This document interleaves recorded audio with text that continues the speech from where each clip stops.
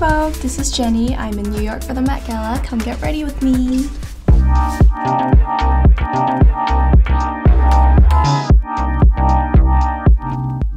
It's my first time going to the Met, and I'm excited and nervous.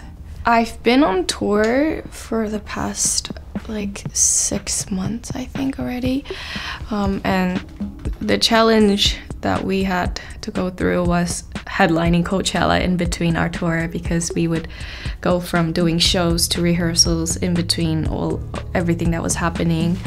But I mean, it was an exciting dream come truth experience.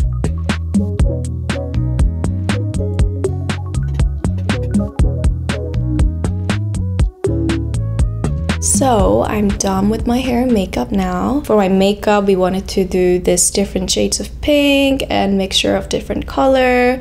We have sparkly happening in my eye and we wanted to keep the rest of my face a little matte and the inspiration for my hair was we wanted to bring a little bit of our Korean culture, and this braided hair reminded us of a Korean 전통 look, and of course the camellia for Karl and the classic Chanel.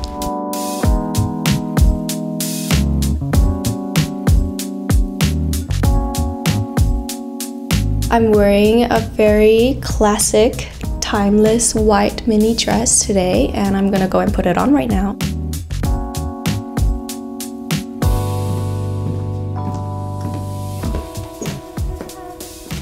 So this is my final look for my first ever Met Gala. I'm so happy to see how everything came out with my gloves and the camellias and everything. And I think I'm a little lit, so I gotta go. But Thank you for watching. Bye Vogue.